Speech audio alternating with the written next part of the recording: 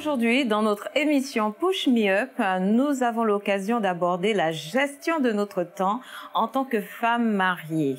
Vous savez, en tant que femme mariée chrétienne, alors que nous avons déjà connu quelle était la vision de Dieu pour notre vie, ainsi que la vision de Dieu pour notre conjoint, et alors que nous sommes entendus justement avec notre conjoint par rapport au choix de vie futur que nous allons faire quand nous sommes mariés, il est important que nous puissions chacun d'entre nous faire ce que nous avons planifié de faire.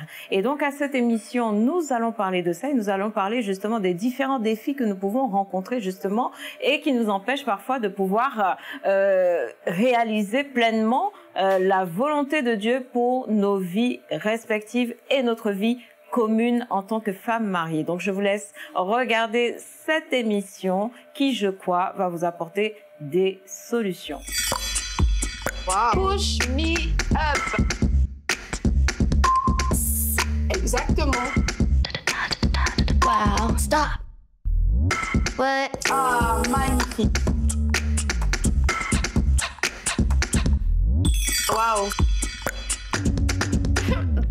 Bonjour à tous et bienvenue sur le plateau de l'émission Push Me Up, une émission dédiée aux femmes et qui est présentée par des femmes. Alors vous savez que notre émission a pour but de faire en sorte qu'il n'y ait aucune limite dans ce que vous pouvez accomplir. Oui mesdames, il n'y a aucune limite dans ce que vous pouvez accomplir. Et aujourd'hui notre thème porte sur le temps. Et notre thème porte spécialement sur les femmes mariées. Vous êtes à l'honneur dans cette émission. Donc nous allons parler de l'organisation du temps en tant que femme mariée. Et oui, quand on est marié, les choses ne sont plus pareilles. Hein. Nous étions célibataires, ensuite nous nous sommes mariés. Euh, les choses changent, n'est-ce pas? Et donc il y a d'autres choses qui se rajoutent dans notre vie et c'est important qu'on soit efficace, même en étant marié, par rapport aux objectifs de vie qu'on s'était donné en tant que célibataire. C'est important que on puisse réussir notre vie de couple. Alors aujourd'hui sur notre plateau, alors j'ai à ma droite une invitée spéciale, le pasteur Grace, ma foi, qui est tout en beauté, n'est-ce pas? Merci, ben vous aussi. Hein. Ah, merci, merci. Alors à ma gauche j'ai la sœur Angela qui est aussi en beauté, du Ah rouge, couleur de feu, n'est-ce pas? Et j'ai la sœur Ingrid à côté d'Angela aussi qui est fleurie, n'est-ce pas Bien sûr. Bien sûr, bien sûr. Donc il y a de tout. Donc Ah oui, couleur de feu, fleurie, euh, gothique. voilà, euh, oui, voilà. Donc, et moi je suis fleurie, mais version euh, gothique noire. donc, Black and white. Black and white, voilà, pas gothique, black and white, c'est mieux. Oui, parce que gothique là c'est un peu bizarre. Alors donc, par rapport à notre émission, par rapport à notre thème, on aimerait vraiment donner des conseils justement aux femmes mariées par rapport à leur gestion du temps. Il faut savoir que quand une femme est mariée, du coup, en fait, elle a d'autres objectifs de vie et c'est important qu'elle puisse planifier justement ses objectifs de vie Mhm. avec son mari. Et là, en fait, elle a une aide hein, pour l'aider euh, justement son Oh, mari normalement, parce pour l'aider normalement, oui, effectivement, normalement pour l'aider euh, justement à accomplir certaines choses. Et il y a des, ch- des tâches qui peuvent être partagées, notamment au niveau de la maison quand on a un Oui. conjoint, par rapport au fait qu'on soit seul. Mais bien sûr, si le conjoint euh, euh, S'il est d'accord, apporte si- quelque chose, voilà. S'il Euh. Voilà. Et si c'est un conjoint qui qui aussi s'investit euh, Mhm. dans euh, les tâches ménagères. Mhm. Voilà, donc euh, c'est important de pouvoir euh, justement parler de ça par rapport aux différents défis. Donc nous allons déjà parler des dif- différents défis justement qu'elle rencontre et ensuite nous allons donner des solutions par rapport à cela Mhm. et euh, pour orienter justement ces femmes mariées à bien gérer leur temps. Ah, D'accord. Donc on va parler des effets positifs. Quand on est marié, voilà, on a quelqu'un à nos côtés qui est susceptible, n'est-ce pas, de nous aider, voilà, de nous aider parce qu'en fait, quand deux destinées se rencontrent, c'est pour accomplir le projet de Dieu ensemble. Mhm. Et en fait, ensemble, en fait, on est une force, C'est d'accord. Et euh, quand on se met ensemble, c'est c'est deux visions qui s'accordent en Mhm. fait, d'accord Et donc du coup, ce qui est bien, c'est qu'on n'est plus seul, mais on a une force avec nous, Mhm. voilà, pour pouvoir accomplir un but commun, la mission de Dieu en Tout fait, parce fait. que Mhm. quand on s'unit, c'est pour accomplir ensemble, Ensemble. la mission de Dieu. Ce n'est pas pour que la femme fasse les choses de son côté et que l'homme fasse aussi aussi fasse de des choses de son côté. Donc ça, c'est quand même un point positif, n'est-ce pas, mesdames Tout à fait. Ben, C'est un point positif. Hein. Moi, personnellement, euh, moi, je me suis mariée, j'étais célibataire, je suis mariée, gloire Dieu, ça fait six ans maintenant.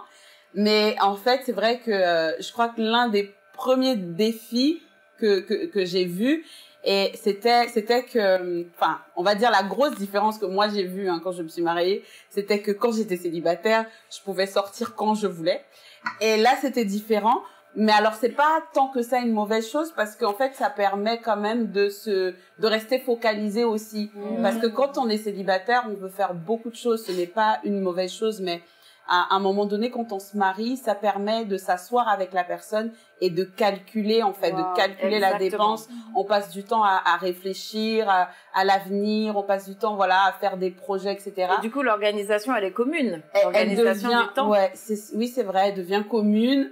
Euh, on, on, on partage les choses ensemble. Euh, chaque chacun de nous déjà de façon individuelle va avoir des défis. Et Exactement. euh, mais si un couple a bien compris je crois qu'ils doivent fonctionner ensemble. Ce qui se passe c'est que on se dit toujours ok on a tel objectif à accomplir comment est-ce qu'on peut faire ensemble euh, pour que chacun de nous en fait on puisse ben, réaliser des tâches à la maison pour pas que ça pèse sur sur une personne en particulier. Comment est-ce qu'on peut faire par exemple si on veut acheter une voiture euh, combien d'économies on doit faire ensemble comment est-ce qu'on doit Alors, c'est organiser important les de finances planifier tout cela, justement. C'est Oui. important de planifier tout ça et de reconnaître qu'en fait, c'est une force, en fait. oui, C'est oui. une force financière aussi que d'être ensemble, en fait. hein. Et du coup, on peut acheter justement des, des, des biens comme des voitures qui coûtent assez cher plus rapidement, surtout quand les deux travaillent. Voilà, on a une force qui est multipliée. Donc, il faut, il faut qu'on voit cela aussi, ce côté positif qu'a la femme mariée, en fait. En tout cas, quand elle a un bon conjoint, n'est-ce pas? oui, oui, oui, D'accord. Le. Qui peut apporter quelque chose, C'est vraiment. vrai. C'est une force, en fait. Et, Mhm. et dans cette organisation commune, les choses Mhm. vont être facilitées pour Mhm. elle. Elle va pas se battre toute seule. Contrairement à la femme célibataire qui doit faire face aux défis seule. Seule. Là, elle est accompagnée, elle est avec quelqu'un et du coup, la charge est plus légère. Puis N'est-ce légère. pas Quand, quand, quand euh, pasteur, tu dis que c'est une force, c'est vrai que c'est une force parce que même la Bible nous le dit euh, que deux valent mieux qu'un parce oui. qu'ils tirent un meilleur salaire de leur ouvrage. Exactement, oui. Ça veut dire que euh, dans tous les domaines finalement, normalement, on est supposé porter un meilleur fruit, Exactement. plus de fruits, que ce soit financier, que ce soit à la maison, dans l'organisation de la Exactement. maison. Donc euh, oui, c'est une force. Exactement. Et j'ai une question justement, enfin, là c'est dans le cas où les deux sont euh, d'accord. Mais si par exemple, bah, il y a des désaccords, ça se passe comment? Angela, elle aime les sujets qui fâchent. Pourquoi est-ce que Mais- ça arrive non, normalement, normalement, quand on se met ensemble, justement, pendant la période des fiançailles de préparation, c'est là où on doit euh, voir les choses pour pouvoir s'accorder. Parce que se mettre ensemble, c'est aussi s'accorder sur certaines choses et être prêt à supporter certaines choses. Donc, parce qu'il y a des, des femmes, justement, qui s'accordent sur le fait que leurs maris, en fait, ne veulent pas faire des tâches ménagères. Et elles acceptent, en fait. Euh, Elles acceptent cela dans le mariage, en fait. Donc, en fait, c'est important de... Ces choses-là, normalement, doivent se connaître, normalement, avant le mariage, d'accord? Maintenant, il peut arriver que monsieur retourne la veste, Ben voilà, n'est-ce pas? Je- Et que voilà. ce qu'il avait proposé, ce qu'il avait Mhm. prévu de faire, dit qu'il allait faire, il ne le, fait pas. Dans Voilà. ce cas-là, comment faire? Franchement, Past, Angela, moi personnellement, hein, pour l'avoir remarqué déjà, c'est vrai que euh, monsieur retourne la veste. Ça arrive. Honnêtement, ça arrive. Même quand on Mm. s'est bien entendu. Il y a toujours un jour où il a la flemme et puis il se dit, mais non, c'est toi qui dois faire. Mais je, Mm. je pense que la femme aussi doit se poser des questions parce que moi, j'ai l'impression que les, les femmes chrétiennes, elles font semblant d'être parfaites, tu vois. J'ai l'impression Voilà. qu'elles elles portent, tu vois, elles se disent oui, donc la Bible dit ça, la Bible dit ceci, la Bible dit ça, et je vais faire toutes ces choses. Mais la question c'est est-ce que est-ce que ton mari euh, est-ce que ton mari considère que ce que tu fais c'est ce que tu dois faire? Je sais pas. Est-ce que est-ce que pour lui il sent que ce que tu fais c'est la bonne chose? Parce que nous nous on se dit je fais à manger, je fais le ménage, donc je suis une femme parfaite. La question c'est est-ce que ton mari voit aussi les choses comme Mm, toi? voilà, parce qu'au bout d'un moment, lui aussi, il va arrêter de faire des... En fait, j'ai remarqué que parfois, dans le couple, tu en as un qui fait des efforts, l'autre fait des efforts de son côté, mais Mhm. en fait, ils se rendent pas compte, les deux, qui font des efforts. Et après, oui, ils, c'est ils- vrai, ils- c'est quand vrai. ils se disputent, et l'autre, la femme va dire, moi, je fais tout le temps à manger pour toi, et le mari va dire, ah bon, moi, euh, quand je rentre, je dois, euh, je sais Mm. pas, euh, faire quelque chose pour moi tout seul. En fait, c'est, c'est, je crois que c'est ça le problème Mm. c'est pas tant que on abandonne vite les efforts. C'est juste que parfois l'autre ne voit pas, ne se rend pas compte. Les, les- le type d'effort que toi tu fais n'a pas vraiment de signification Ah, en fait oui. chez l'autre, tu vois. Mm. Donc moi je pense que dans ces cas-là, ben il faut s'asseoir à nouveau. Oui, Et et recalculer. discuter, Voilà. discuter. Parce que moi, je crois que vraiment la planification de la femme mariée, c'est quand même quelque chose qui se fait pendant quand même les fiançailles, euh, parce qu'ils doivent discuter justement pendant cette période de préparation au mariage, ils doivent discuter justement du plan de Dieu pour leur vie. Donc en fait, ils savent déjà le plan de Dieu pour leur vie. Ils sont censés le savoir en tout cas. Mm. Ils savent aussi, euh, voilà, la répartition au niveau de la maison, des tâches ménagères. Ils savent aussi les objectifs de carrière Mm. de chacun en fait, parce Ouais. que ça aussi, ça prend du temps la carrière, ou alors si on doit euh, entreprendre et être son propre patron, ça demande aussi du temps. Et du coup, tout ça, ce sont des discussions dans lesquelles normalement qui se font pendant la période de fiançailles, qui sont censées se faire pendant la période de fiançailles. Franchement, là, je suis Et vraiment pour d'accord. aider justement à cette planification en tant que femme mariée. Et comme ça, quand on est sur le terrain, c'est là où justement on, on, on fait tout simplement ce qu'on a planifié au préalable avec notre conjoint, Mhm. c'est-à-dire notre futur conjoint, ce qu'on a planifié parce que c'est pendant cette période-là des fiançailles de préparation au mariage Mhm. qu'on doit se dire les choses et qu'on doit se donner des objectifs de vie, Mhm. d'accomplissement dans ce qu'on doit faire Mhm. ici sur cette terre Mhm. ensemble, d'accord, ensemble. Donc je crois que le, les projets communs, en tout cas, ils sont déjà définis pendant la période de fiançailles. Maintenant, c'est quand ils arrivent dans le mariage, concrètement, effectivement, euh, c'est de pouvoir vraiment euh, se donner les moyens de pouvoir le Mhm. faire, c'est-à-dire de, de, de mettre en action des choses, se dire oui, ok, d'accord, concernant les tâches ménagères, ben toi tu vas faire euh, telle chose, telle chose le lundi et planifier ainsi de suite les tâches ménagères quoi. Je crois que en fait cette partie-là, euh, pour la femme mariée, vraiment, elle n'est plus dans cette partie de connaître les objectifs. Elle les connaît déjà, mais elle est surtout dans la partie de l'action, Oui, c'est vrai. de l'action directement. Voilà. Quand tu te maries, c'est le moment de réaliser, en fait. Oui, les- exactement. Les, plans, que vous avez définis les plans ensemble. que vous avez. Mais c'est pour ça que c'est important de bien définir quand même les plans. quoi. Ah oui. Moi, tout à l'heure, j'étais au téléphone avec quelqu'un et justement, on, on se faisait la remarque sur le fait que ben, les, les, les hommes qui ne tiennent pas leurs promesses, oui. tu vois. Mm. C'est-à-dire que pendant les fiançailles, tu m'as vendu du rêve, puis après Mm, on se marie, je vois pas le rêve. Qu'est-ce qui se passe, mon frère? Mais où le rêve? C'est Où est la lune que tu m'avais pris? Mais je, je pense que c'est important, comme tu le dis, pasteur, dès le départ, en fait, de bien établir les choses. Maintenant, après, quand on est à l'intérieur et que les choses ne se font pas, sur- surtout si on est chrétien, il faut quand même en fait prendre au sérieux les engagements qu'on prend. Quoi. Il faut il faut les prendre au sérieux. Ça signifie que il faut qu'on se dise que quand tu es arrivé dans la vie de l'autre, il faut que tu aies un impact positif dans sa vie. Sinon, ça, Mm. c'est quoi la valeur ajoutée du fait que je me marie avec toi Mm. Tu Bah vois? oui. C'est-à-dire que si moi je n'a- je n'arrive pas à me réaliser, j'arrive pas à réaliser les projets que Dieu a mis dans mon cœur, c'est quoi la valeur ajoutée Bah finalement? oui. Donc il faut il faut remettre euh, enfin comment on dit faire table table rase Mhm. et, et rediscuter et se dire euh, mais regarde on avait on s'était fixé tel objectif tel objectif est-ce Mm. qu'on a réalisé ces, ces objectifs? Je crois je crois pasteur que tous les ans c'est important qu'un couple euh, Oui. analyse Mhm. si ils ont atteint les objectifs qui s'étaient fixés en Exactement. Est-ce qu'ils se sont bien organisés? Mhm. Est-ce que les moyens qu'ils ont mis en place pour atteindre ces objectifs, est-ce qu'ils ont pu réellement les mettre en place? Oui. Parce que voilà, parfois il y a des moyens qu'on se fixe qui sont trop élevés et Oui. qu'on n'arrive pas à mettre en place justement. Euh, c'est important de faire euh, le check-up, vérifier, regarder si vraiment on a pu euh, poser les actions nécessaires pour accomplir nos objectifs et surtout se remettre en question parce que surtout ça dans le couple, là, la remise en question. On a du mal à recevoir les remarques, on a du mal justement à, à recevoir les réflexions de nos conjoints pour pouvoir changer.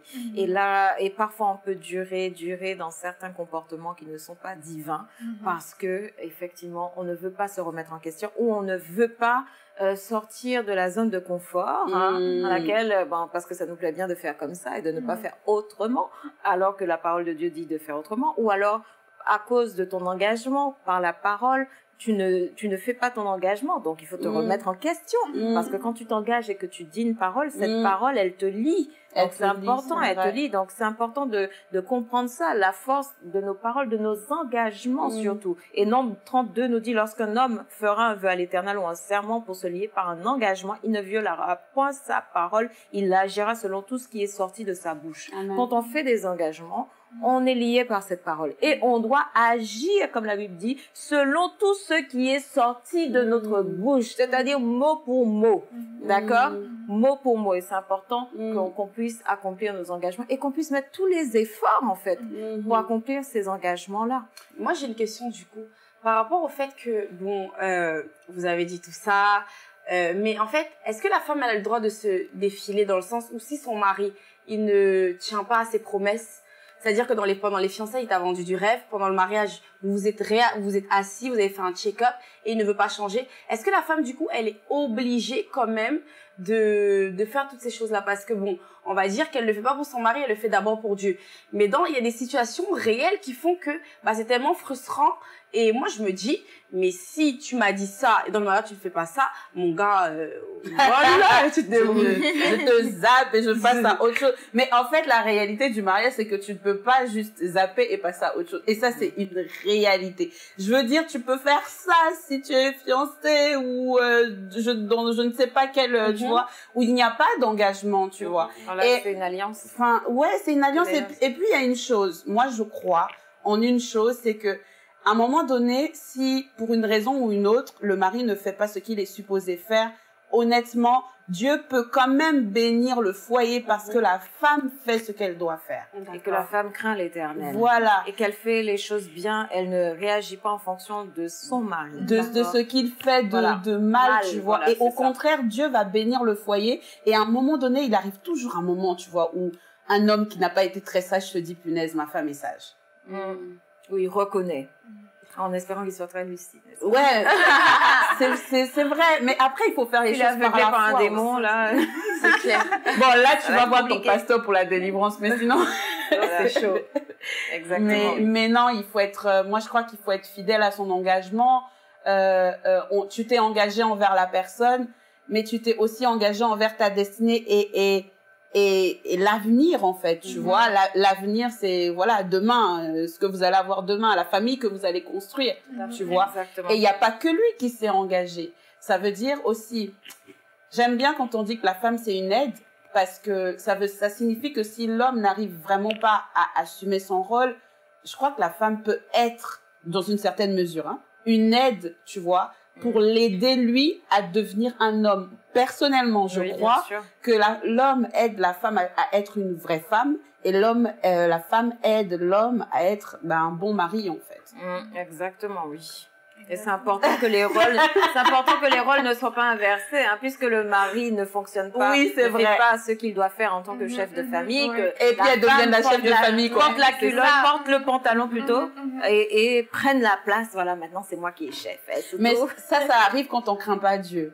oui, exactement. Donc ça, c'est important de se dire que non, ça non. Et parfois même des femmes chrétiennes le font, hein, parce que ils- elles se disent mais puisqu'il le maman, fait pas, Il est tellement et- et- paresseux. et parfois, Crainte parce Dieu, que- crainte Dieu là. La Et- et crainte de Dieu, c'est pas, parfois- parfois, pas. parfois, euh, parfois, justement, on, euh, on- bon, une fois, ça on m'a dit effectivement qu'en fait, il me dit même de le faire, en fait. C'est-à-dire que il laisse sa place de chef, il ne veut pas l'occuper, et il dit à sa femme de faire à sa place. Waouh. Il me donne même l'autorisation de Ah, le c'est une faire. Non, non, non, non, ça c'est un autre degré.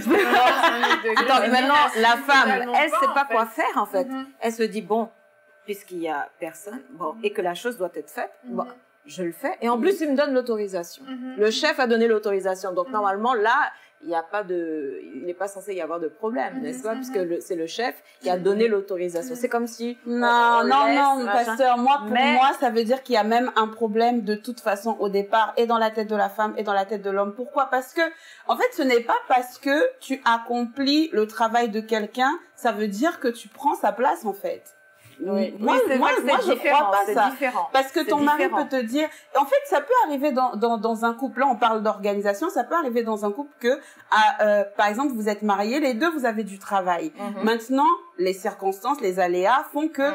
il n'a plus de travail et en plus, il n'en trouve plus. Ça veut dire pour une longue période. Et à ce moment-là, tu te retrouves en, en, en train de travailler. Tu, tu, tu fais ta vie, tu travailles, tu payes le loyer, tu Mhm. payes ceci, tu payes cela. C'est toi qui t'occupes de toutes les charges. Ça peut arriver d'être dans une position comme ça, mais est-ce que ça veut dire forcément que du coup la, la femme, place, ben non? voilà, Non. que tu commences à te pas comporter. prendre la place, euh, mais par contre, le, le mari peut donner l'autorisation de faire certaines choses, certaines tâches qui lui incombaient lui.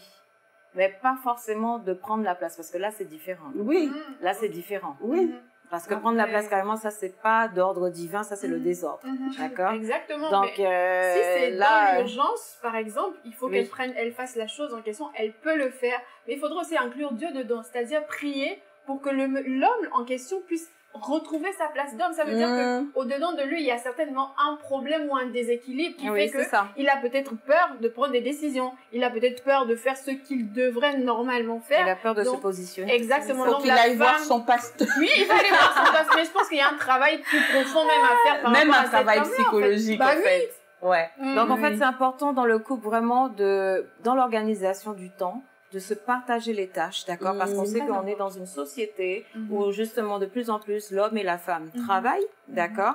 Pour que, pour assurer un meilleur avenir, parce qu'on sait qu'avec un salaire, c'est pas toujours évident, mais avec deux salaires, euh, c'est nettement mieux. Après, c'est vrai que ça dépend des, du salaire de la Ça personne. dépend du portefeuille. Donc, hein. voilà, si le mari a un salaire mirobolant, euh, c'est vrai que parfois la femme n'est pas obligée de travailler, mais en fait, euh, voilà, dans une, dans, dans cette société où de plus en plus on est amenés tout- tous les deux en fait à travailler. Là, le temps, il est un peu très rare parce qu'on Mhm. passe beaucoup de temps dans notre travail. Oui. C'est important justement qu'ils puissent planifier toutes choses parce qu'il faut qu'ils aient des temps de communion aussi avec Dieu, d'accord? Donc ils doivent planifier le temps de communion avec Dieu, temps de communion personnel, chacun de son côté, Mhm. mais aussi un temps de communion à deux où ils Mhm. font leur culte familial, même s'il n'y a pas encore les enfants, n'est-ce pas? Mhm. C'est important qu'ils fassent le culte familial, Mhm. euh, puisqu'ils sont déjà une famille, ils sont à deux. Ensuite, il y a aussi, euh, ils doivent planifier aussi Les euh, moments de qualité. les moments de les qualité justement où ils auront une intimité qu'ils vont Mhm. développer Mhm. ensemble voilà des, aller au restaurant euh, sortir un peu de la maison faire des séjours Mais on se ça. rend pas compte, ça prend beaucoup ah de oui ça temps. prend beaucoup de temps Ça- et ça- la vie spirituelle Et aussi la vie la vie spirituelle. d'église En fait, ça s'enchaîne comme ça, et c'est comme ça qu'on voit pas les années passer, en fait. exactement Toi, tu, toi, tu te dis, ah, bon, on s'est marié avant-hier, là. Mais non, parce que ça prend énormément de temps de, de, de, de faire toutes ces choses, et c'est pour ça que c'est important de s'entendre quand on arrive à la maison sur, OK, quand j'arrive du travail, je vais faire à manger. Est-ce que tu peux sortir telle chose et telle chose du frigo? Comme ça, ça décongèle. En fait, ça, c'est des choses, Mhm. oui des, des petites choses, en fait pratique pratique pour dire euh, ben quand j'arrive j'ai le temps de faire à manger de, de pour que tu puisses manger mais ensuite pour qu'on ait le temps de manger ensemble Mhm. et de passer du temps ensemble, ensemble, voilà, Mhm. parce qu'il faut savoir que la vie maritale, voilà, on fait beaucoup de choses, on doit faire Mm. beaucoup de choses ensemble. Donc il faut qu'ils se prennent du temps et qu'ils planifient les choses vraiment euh, et qu'ils se répartissent les tâches ménagères à la maison, qu'ils se et qu'ils prennent aussi des activités en fait ou euh, par exemple des activités à l'église Mm. où ils pourront être ensemble aussi parce que parfois ça peut arriver à l'église qu'on soit dans le même département Mhm. mari et femme euh, on est dans le même département c'est pas drôle hein. Euh, c'est pas drôle. ah, dans le même département comme ça au moins l'heure de service en tout cas notre service pour Dieu voilà c'est sur la même tranche d'horaire parce que parfois quand C'est sur des tranches d'horaire différente différentes c'est plus compliqué c'est compliqué Oui. au niveau de la gestion de notre temps. Donc, si après c'est possible, je parle si c'est possible. Maintenant, c'est pas possible parce que parfois on n'est pas appelé à faire les mêmes choses Mhm. à l'église. Donc, du coup, on se retrouve pas dans les mêmes départements où, voilà, on est l'autre est à l'est, l'autre est à l'ouest, Mhm. carrément des choses différentes. Mais c'est important qu'on puisse bien planifier les choses parce que il ne faut pas que l'intimité du couple empathie. Il ne faut pas surtout que la relation intime avec Dieu puisse empâtir. Mhm. D'accord? Il ne faut pas que la maison aussi quand même, les tâches Mhm. ménagères, tout ça, nous surcharge, soit débordé. Donc en fait, il faut un équilibre dans, dans tout cet environnement-là, d'accord? Du travail, l'église, Dieu, euh, la maison et autre chose quand on a des engagements justement dans des associations et qu'on fait des choses à l'extérieur, Mhm. voilà des œuvres sociales ou autres, il faut vraiment arriver à équilibrer les choses pour que en fait le temps en commun aussi soit maximisé. Mhm. D'accord? Parce que si on est en couple, C'est pas pour que on se croise dans la maison, n'est-ce Mhm. pas? Vous voyez, Hein, l'autre entre, l'autre sort, euh, et ensuite on se voit plus trop. Donc, Mhm. en fait, quelle est quelle est la finalité? C'est vrai que ça, ça peut arriver quand, euh, ben, quand on a beaucoup d'activités. Hein. Moi, je sais que je travaille énormément et qu'on a eu, on a, on a pu avoir des périodes où euh, j'entre, il sort, je sors, il entre et tout, etc. Mais en fait, là où on trouve l'équilibre, c'est effectivement quand tu organises l'année. Parce que Mhm. l'année, il faut l'organiser en fait. C'est quand tu organises l'année, c'est important dans l'année de voir des périodes où on va se, se couper de, on va dire quasiment toutes les activités pour euh, ben avoir des moments d'intimité. pour avoir des moments d'intimité parce que c'est important. Euh, je veux dire, euh, voilà, on se on se marie pas pour être colocataire. Moi, j'aime bien dire ça. Exactement, oui. On, on se marie, c'est pas un colocataire en fait, c'est vraiment euh, un compagnon de vie, un compagnon de Exactement, destinée, de etc. destinée. Voilà. Donc, Mm. euh, c'est important justement que l'un apporte à l'autre et tout ça, justement pour accomplir cette destinée-là. Donc, euh, je veux Mhm. dire que si on fait pas les choses ensemble, Mhm. on se croise même pas. Euh, en fait, qu'est-ce qu'on fait Qu'est-ce qu'on accomplit en commun? Pas Mhm. grand-chose, je sais pas. Mais du coup, par rapport à ça, est-ce qu'en tant que femme mariée, il y a des moments où vous vous êtes sentie seule? Euh, oui, Ça- ça, dépend ça- de la ça- charge. euh, Ça dépend de la charge du mari. de la charge du mari. pas avec tous les Ou l'effet inverse aussi, l'homme se sent seul par rapport à la charge de la femme aussi, ça peut exister aussi. D'accord. Euh, oui, par rapport à la charge, et c'est pour ça que je dis c'est une question d'équilibre D'accord. et qu'il faut planifier parce que si on ne planifie pas, on risque de créer un désordre. Et quand on crée un désordre, le désordre peut amener au chaos, d'accord Et c'est pour ça que je dis euh, c'est important de planifier et surtout pour maximiser aussi les temps ensemble, Mhm. d'accord Et il faut respecter euh, son planning. Il faut respecter son planning. Par exemple, moi, je sais que pour éviter en fait la, enfin, que l'autre se sente seul dans le couple, euh, par exemple, dans ta journée, quand tu dis je vais rentrer à 19h, tu rentres à 19h. Sinon, si tu rentres pas à 19h, tu le préviens longtemps avant, en fait. Mm. Moi, je pense que ça évite de créer des frustrations comme ça parce que mine de rien, même si la personne a passé sa journée, elle s'attend à te voir arriver à une certaine heure ou euh, Mm. manger ensemble, ce Mm. genre de choses-là. Et donc, c'est important de, euh, de, de, de créer. Mais je crois aussi, ce qui est important de faire dans la journée, même quand on a beaucoup de travail, Exactement, c'est c'est de de s'envoyer des s'appeler, SMS. de s'envoyer des SMS. On a toujours tous une pause, quoi. Exactement, oui, on a tous une ça. pause parce que ce sont des petits moments comme ça, des petits échanges comme ça qui conservent aussi la relation, en fait. Oui, pendant la pause du travail, voilà, on peut s'appeler, Mhm. voilà, tout simplement. Des choses comme ça. ouais. Ensuite, euh, il y, a, y a aussi euh, cette problématique de certaines femmes, justement, bah, du fait qu'il y a les activités, justement, qui, qui sont éparses et diverses. Euh, voilà, il y a parfois un manque d'attention qui peut se créer, Ah, oui. justement. Un manque d'attention et certaines peuvent souffrir en silence de cela parce que on ne on s'assoit pas pour poser des solutions. D'accord On Mm, s'assoit pas pour dire, pour faire en sorte que ça soit différent. mhm. D'accord Parce qu'il y a parfois euh, des, des personnes, des hommes de Dieu, oui, les hommes de Dieu, C'est souvent, c'est souvent, c'est n'est-ce souvent eux. disons-le, n'est-ce pas? Voilà. Qui ont un zèle tellement débordant et dévorant, n'est-ce pas?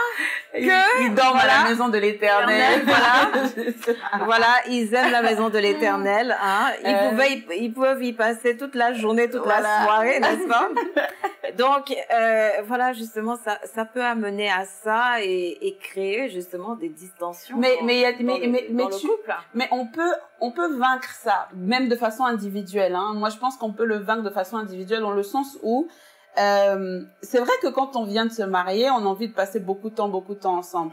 Mais je crois que il faut aussi personnellement avoir, je- j'ai envie de dire, des activités qui qui vont t'épanouir, en fait. Oui. C'est sûr, ça remplace pas le mari, ça c'est c'est une certitude. Mm. Mais franchement, une femme même mariée, elle doit continuer à être épanouie, elle doit continuer à avoir euh, des amis, elle doit, elle peut continuer aussi à Oui. sortir en fait Avec des amis aussi. oui. équilibré, Oui, bien sûr, elle passe pas son temps sûr. dehors, tu vois. Mais il faut avoir des moments de détente euh, où tu sors. Bon, tu sais que ton mari est pris de là à là. Bon, toi, tu essayes aussi tu d'être meubles prise. ton temps, quoi. Voilà. Que tu ne laisses pas euh, beaucoup de temps libre parce que Mhm. sinon tu vas tomber dans dans dans, dans avec des pensées mauvaises voilà. justement par rapport à ça, à ton mari Mhm. qui s'occupe pas de toi et tout ça. Donc, qu'est-ce que tu fais? Ben, tu, tu, tu aménages ton temps aussi. C'est-à-dire Oui. qu'il faut que tu fasses des choses, que tu combles ton temps, Mm. d'accord, pour pouvoir faire des choses aussi qui vont t'épanouir et euh, où tu vas euh, euh, pouvoir meubler ton temps aussi, quoi.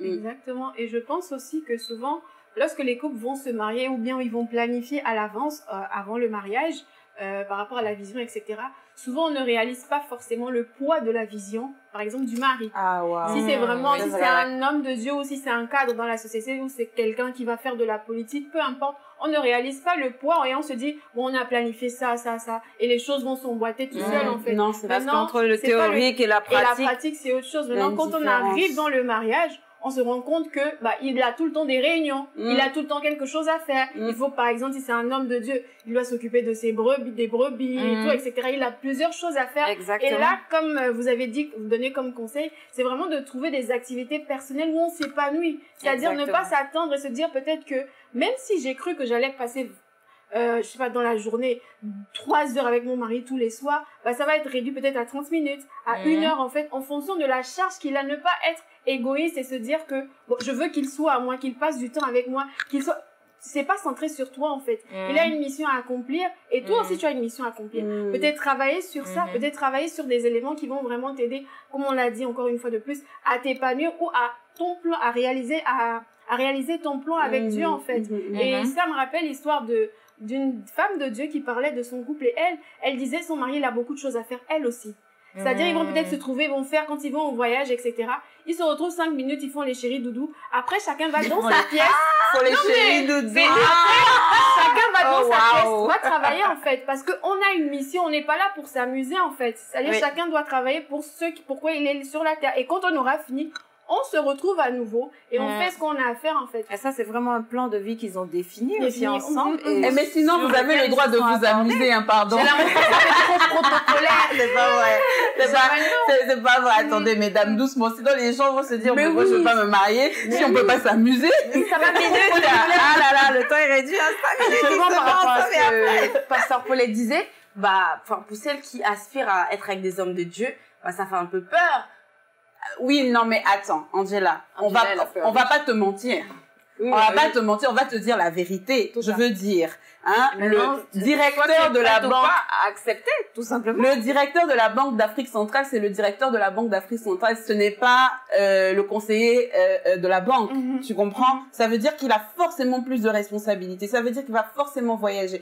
Pour moi, c'est pas une question d'homme de Dieu. C'est une question euh, d'un leader. Tu te maries avec un leader qui est qui qui va avoir, c'est sûr, une destinée un peu complexe. Ça veut dire que ta destinée aussi sera un peu complexe. Ah, il faudra être prête. en tout Voilà, il faut être forte. Tu peux pas juste te dire je vais aller là-bas et puis je vais faire ma vie comme ça et puis mon mari et moi on va flâner. C'est pas vrai en fait. Ce n'est pas vrai. Maintenant, est-ce que ça veut dire que euh, tu ne seras pas heureuse ou que tu vas pas faire des choses intéressantes? Non, c'est pas c'est pas ça. C'est simplement que il faut être conscient que Mais bah il y a des responsabilités on, on, on derrière. estime mal les choses, justement. ça. Le- Ce poids de responsabilité, Mm. parfois, est mal estimé, Estimé. n'est-ce pas?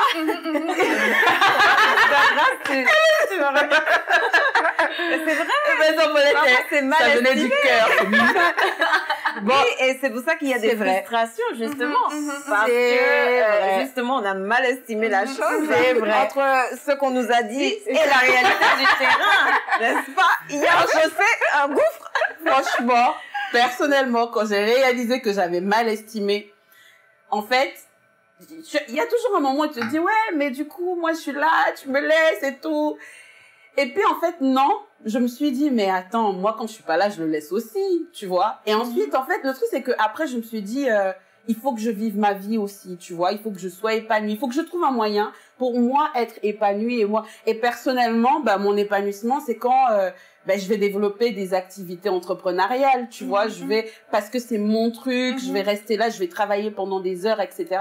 Ça fait que, franchement, il y a, il y a plus trop de frustration liée à ça. Et aujourd'hui, j'arrive à me dire, ouais, oui, dans, dans dix ans, peut-être, euh, il va m'appeler, il va me dire, euh, oui, j'ai pris l'avion pour aller à tel endroit, parce que aujourd'hui, je suis déjà un peu habituée à certaines choses. Mais c'est vrai que d'emblée, euh, entre euh, euh, mon mari qui est rappeur, enfin, je, je, me, je me souviens de notre première année de mariage. Il est parti à euh, Nice pour un concert et j'étais vexée parce qu'il m'avait pas demandé de l'accompagner. j'étais super vexée. Il était parti, c'était, enfin, il y avait un concert, il était invité et je me disais, mais attends, euh, j'aurais dû être avec lui. Que en plus, on a l'habitude de voir souvent les hommes de Dieu avec leurs femmes. Donc moi aussi, je me dis, mais non, j'aurais dû être avec lui, etc. Et il m'a appelé comme ça dans la journée et j'entendais plein de gens autour de lui. Mais ça se passait vraiment bien. Mais moi, ça m'énervait. Ah oui, parce Je que me t'es dis, pas mais là. je suis pas là. je suis pas là-bas. Et je l'entendais, j'entendais tout le monde. Et puis, il m'a, il m'a parlé à peine. Il m'a dit, ah bon, attends, je te laisse. C'est tout le monde qui l'appelle et tout. Je dis, mais ok, d'accord. Bon, bah, cool, hein. Ciao, bye bye. hein. Amuse-toi bien. Moi, je suis ici. Mais avec le temps, je me suis rendu compte que je n'ai pas envie d'être, euh, désolée, mais un sac à main. J'ai, enfin, j'ai pas envie d'être une accompagnatrice. J'ai aussi ma vie, j'ai aussi ma L'objet des destinée. décorations à la maison. Voilà, non. à la maison. Bah, Sarah, c'est très ne intéressant ce que tu dis parce que du coup, ça, ça prouve encore le fait que c'est important de se préparer en tant que, bah, qu'on qu'on soit dans les fiançailles, qu'on soit célibataire avant d'entrer dans le mariage et de surtout d'apprendre à être épanouie seule et être heureuse parce que, comme vous le dites souvent bien, on est dans le mariage pour euh, rendre l'autre heureux. Mais si on n'a rien à apporter à l'autre, Et puis, si tu n'es pas heureuse, c'est Aussi. bizarre quand Bah même oui, que lui ça. soit Oui, oui. heureux. Si ton, dé- si ton bonheur dépend que de ton mari, là, hé, Attends, t'imagines, il cuit. rentre à la maison, il trouve une Ah, femme c'est frustrée. ça a cuit. Tu es tout le temps Oh mon frustrée. Dieu, c'est compliqué. Ouais. Quelqu'un rentre, il te trouve tout le temps frustré. Il y a un problème. Quand Mhm. il t'a épousé, tu souriais.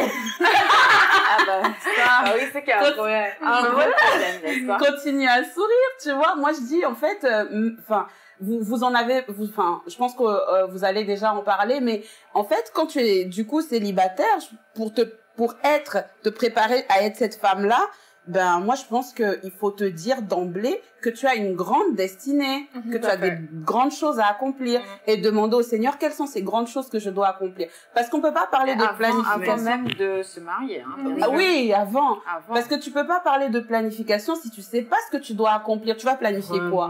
Ça. Tu te ben, réveilles le matin. justement dans l'émission pour les femmes célibataires que c'est important d'avoir les objectifs de Dieu. Oui. Comme ça, quand on a le mari qui vient, les propositions de plusieurs personnes, Mhm. on sache en fait euh, quelle proposition qui sera adaptée justement à notre destinée. Oui, Et oui. voilà, tout simplement. Mhm. Parfois, il faut tuer, il faut tuer des, des, des heures de Netflix.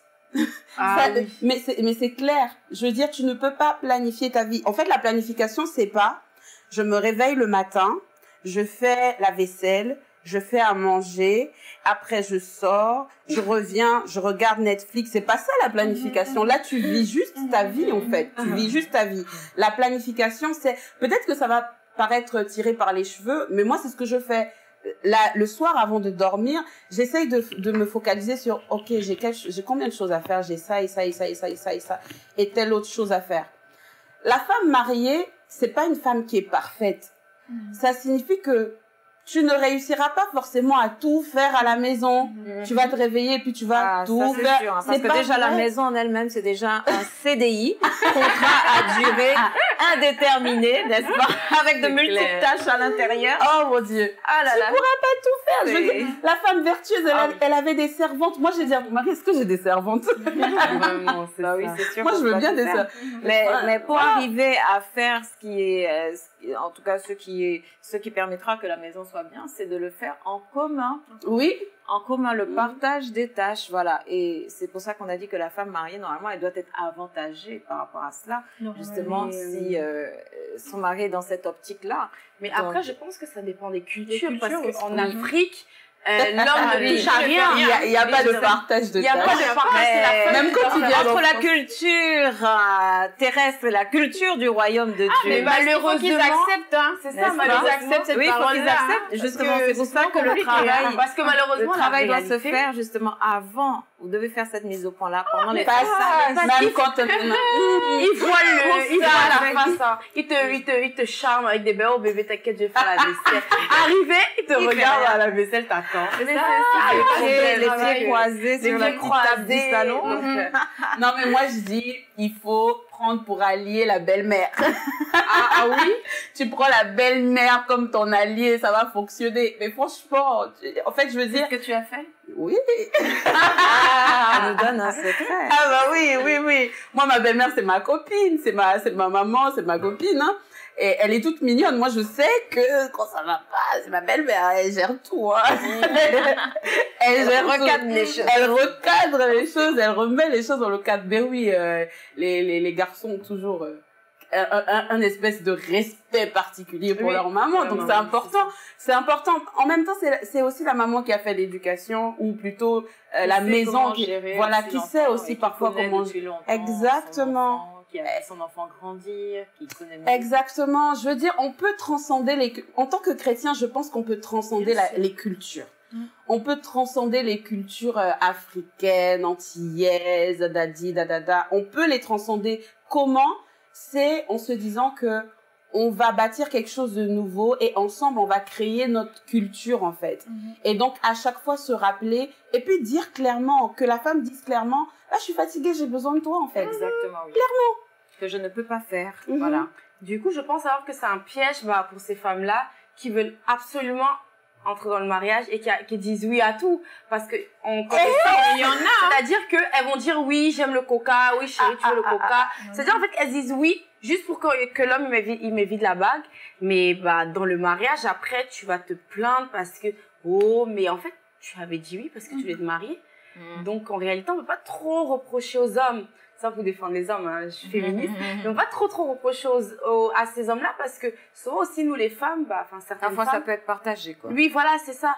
Certaines femmes, bah, elles vont dire oui oui à tout, oui oui oui, je vais supporter etc et tout, mais les réalités font que bah Après, elle ne supporte plus dans ça. le mariage, effectivement. Donc, c'est important de trouver, en tout cas, des solutions pour bien s'organiser avec son mari, n'est-ce pas? Quitte à voir parfois même les responsables spirituels aussi. Oui, Parce que parfois, même la vision, elle peut être déviée. C'est-à-dire que euh, Oui. le mari commence à avoir des mauvaises fréquentations. Ah. Et l'objectif qu'on avait planifié avec Dieu, on ne le fait pas à Mhm. cause des mauvaises fréquentations qui orientent ses buts et ses objectifs dans d'autres choses. Tout Donc, euh, pour ces femmes-là qui avaient planifié justement euh, un certain avenir avec leur mari, comment elles peuvent faire justement Moi, je pense que, bon, on, on se marie déjà par la foi, c'est vrai, on se marie par la foi, on y va, on se dit que les choses vont bien se passer, etc. Mais pour moi, c'est pas parce qu'on est marié qu'on ne peut plus se faire accompagner. Le- Le mariage, c'est pas une finalité, c'est pas, on n'est pas arrivé, tu vois. C'est-à-dire que dans le mariage, les deux sont appelés à évoluer. Ça veut dire que tu es un an de mariage, 5, 6, 10, vous allez apprendre à vous euh, perfectionner l'un et l'autre. Donc, moi, je pense que ben, quand c'est nécessaire, il faut se faire accompagner. Il faut pas attendre que ça explose, tu vois. Mhm. Il faut se faire accompagner et puis se dire clairement les choses et dire, ben, là, on a- on n'arrive pas à gérer. Il faut qu'on apprenne à gérer notre vie. Sinon, c'est Mhm. impossible d'imaginer le futur, d'imaginer des enfants. Mais comment on va imaginer des enfants si on est à deux on n'arrive pas à organiser une maison. Mhm. surtout les hommes africains qui n'aiment pas aller voir les psys parce que c'est vrai qu'il y a beaucoup de couples euh, enfin je veux dire européens bah, qui se font suivre par des psys ou par des des conseillers euh, Matrimoniaux. matri- Mhm. Oui. Mais c'est vrai que bah il y a des hommes africains. Moi je sais que j'ai entendu mon oncle, oh, enfin sa femme voulait qu'ils aillent voir des psys parce qu'il y avait trop de difficultés dans le couple. Mais lui il disait non, moi je suis un homme qui va aller voir le psy. Enfin, en fait il y a cet orgueil là de l'homme. Qui ne veut pas se faire aider. Voilà, il veut pas se faire aider en fait et il croit tout savoir. Mmh. Ça c'est un peu euh, la Il faut difficulté. prier par rapport à ça. Bon, si c'est un chrétien, euh, on prie par rapport à ça. Après, on essaie de, faire des aussi. choses comme Mhm. inviter le pasteur un dimanche à manger, voilà. Mhm. Et on essaie de mettre le sujet sur la table. Ah, c'est chaud. Et c'est ce que je chaud. voudrais aussi rajouter comme conseil, c'est aussi à la femme de faire preuve de sagesse. Je sais qu'il y a Mm. des couples, par exemple, euh, en Afrique, où le mari est souvent... à la femme de faire preuve Non, de faire preuve de sagesse quand le mari... Non, non, le le mari, comme le- mari ne doit pas être... Non, faire preuve de Non, sagesse non, quand mais le mari c'est le mari qui ne veut pas. quand il a par exemple un mauvais entourage en fait, Mm. qui va l'empêcher de réaliser, d'accomplir le rêve. C'est-à-dire qu'il y a des femmes, lorsqu'elles se marient et puis elles se rendent compte que le mari va tout le temps à l'extérieur, il est tout le temps Mm. dehors, ce qu'elle fait, elle fait maintenant à manger chez elle, elle invite les amis du mari à la maison pour au moins elle est sûre que elle voit tout. Dis donc, non. Moi, j'inviterais le non, pasteur, mais moi. toi, tu es une vraie africaine, toi. Elle fait ça vraiment pour les attirer, tous.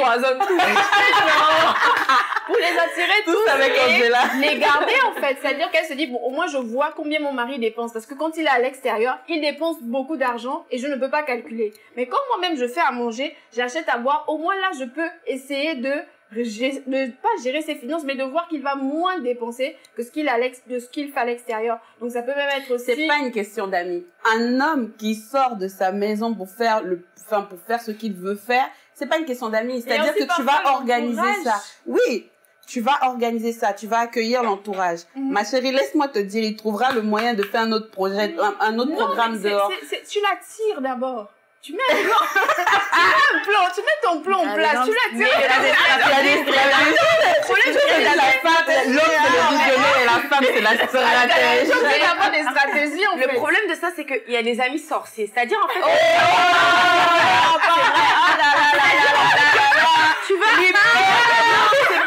tu vas les emmener dans ta maison. Oui. Tu vas croire, mais en fait, ils vont venir te tuer dans ta maison. Je suis d'accord. C'est les premiers à dire oui, mais regarde comment ta femme est sale. Regarde comment, en fait, Non. moi, je trouve que c'est, Alors, alors là, à double tranchant. C'est à double tranchant. Moi, je peux pas faire rentrer, en tout cas, je peux plus faire rentrer l'expérience qui parle. Je ne peux plus faire rentrer pour je ne sais quelle raison parce que hein, il est ami avec je ne sais pas trop qui pour me dire que au moins j'aurais vu en fait sur son entourage. Non, je préfère m'asseoir et lui dire non, non, coupe, coupe. Voilà, si je sais que l'entourage n'est pas bon, je dis coupe parce que je ne veux pas Ah, que c'est- l'entourage ah, c'est parce que ton mari va t'écouter qu'il va couper, mais il y a des maris têtus. Qui va se dire là tu veux m'éloigner de mes gens, tu veux m'éloigner de mes amis et ça va être ça va au contraire amener de la confrontation dans le couple. Mais tu en le fait. on tape Je rigole, je rigole, je rigole, je rigole. Qu'est-ce qui s'est passé Angela, on tape pas le mari. On ne tape pas le mari. Pas de violence Pas de violence conjugale. Pas de violence conjugale. Je rigole. Voilà pourquoi je me dis Non, mo- moi, tu sais ce que j'aurais fait? Moi, j'aurais dit plutôt quelque chose comme bon, comme tu aimes sortir, on va sortir ensemble. On Mais va il y a des sortir. maris qui veulent pas sortir avec leur femme. Mais tu l'obliges, vous êtes mariés, Ah, non, c'est scellé. c'est bon. L'alliance. On va sortir. Tu obliges. Bah oui, on va sortir. C'est toi qui Je veux dire, si tu passes tout ton temps dehors. Si tout ton temps est dehors, dans ces cas, tout mon temps aussi sera dehors. Moi, je préfère sortir avec toi. Parce qu'il y a un proverbe camerounais qui dit que c'est la femme qui dresse l'homme. hein. Oula. Non, mais Ah, mais la Bible ne dit pas ça, hein, vraiment. Restons dans de la Bible, de la parole de Dieu, n'est-ce pas? Restons vraiment dans ce On a perdu cadre-là, la sœur. On a perdu Ah, la nous sœur. sommes femmes sommes des femmes chrétiennes, très sages. Le soldat, Angela. Saint-Esprit, n'est-ce pas? Vraiment remplis du Saint-Esprit, nous ne faisons pas de telles choses. Angela, ton mariage là me fait peur. Donc, euh, alors par rapport à l'organisation du temps de la femme mariée, comme nous avons pu voir, c'est important que ce qui a été planifié justement euh, lors des fiançailles, lors de la période de préparation au mariage, euh, soit planifié réellement, qu'il y ait des actions concrètes, vraiment des actions concrètes par rapport à ce qui a été dit, d'accord, Mm. comme objectif de vie. Oui. D'accord? Donc c'est important de se poser ensemble, de voir les agendas du mari, l'agenda de la femme et faire en sorte d'optimiser ces deux agendas que vous mettez en commun pour pouvoir produire des temps de qualité avec Dieu, Mhm. d'accord Chacun de votre côté et de manière collective, pouvoir dégager du temps pour votre relation intime de couple, parce que c'est très important, pouvoir dégager du temps pour servir le Seigneur, oui, parce que vous êtes là pour servir le Seigneur, n'est-ce pas? Parce que souvent on voit que des mariés qui viennent de se marier, après on les voit plus à l'église, donc c'est problématique. hein. Donc euh, on ne croit pas que le mariage nous empêche de servir le Seigneur. Justement, c'est important d'optimiser nos agendas pour dégager du temps pour servir le Seigneur. Alléluia. Et aussi pour passer vraiment des, des temps dans nos passions respectives, parce que Mm. certainement vous avez des passions l'un comme l'autre, d'accord? Et donc c'est important aussi de dégager du temps pour ces passions qui vous tiennent à cœur et pouvoir les réaliser tout simplement. Alors nous allons écouter la minute push. Dans la minute push d'aujourd'hui, nous aurons le plaisir d'avoir le témoignage du pasteur Grâce Ma Foi concernant notre thème comment s'organiser en tant que femme mariée. Donc elle nous donnera des conseils tirés de sa propre vie. Alors, euh, rebonjour à tout le monde. hein. Moi, je suis donc le pasteur Grâce et j'ai beaucoup d'activités. Je suis pasteur, chantre, responsable de la louange et j'ai également, euh, je suis également entrepreneur. Je travaille également à Évangile TV. Waouh, ça fait beaucoup, hein Ça fait énormément de choses à faire dans une journée, mais on s'en sort toujours, on s'en sort toujours. La Bible dit euh, dans Proverbe 16 au verset 3, recommande tes œuvres à l'Éternel et, et tes projets réussiront. Euh, je crois vraiment que ce sur quoi je m'appuie le plus, c'est euh, le fait de recommander ma journée à Dieu Mhm. Le matin. J'essaye vraiment de pas passer à côté de ce moment-là, qui est un moment, c'est vrai qu'il va être un moment d'intimité avec Dieu, mais qui finalement, je me suis rendu compte de cela, que lorsque j'ai bien prié, j'arrive à, à réaliser toutes les choses que je veux, euh, que je veux réaliser, en fait. Exactement. Je me sens beaucoup plus forte, beaucoup plus prête, moins stressée, moins, moins oppressée, en fait, par les choses. Donc, ça commence par ça. Et puis ensuite, ben, j'ai tous tous les applis hein, qu'on peut avoir, euh, les très- applications. les applications Trello, Anydo pour organiser euh, ma journée concrètement. Et dès que j'arrive au travail, ben je m'y mets tout de suite en fait, tout simplement. Et, euh, et quand cette journée est terminée, euh, je rentre chez moi et j'oublie tout ce qui a un rapport avec le travail pour être vraiment à la maison et faire ce que je dois faire. D'accord, très bien. En tout cas, merci beaucoup, Pasteur Grâce Ma Foi. Ça a été un plaisir Avec de t'avoir joie, dans notre émission. Donc, j'espère que ces précieux conseils vous ont servi en tant que femme mariée et que vous pourrez faire mieux de jour en jour.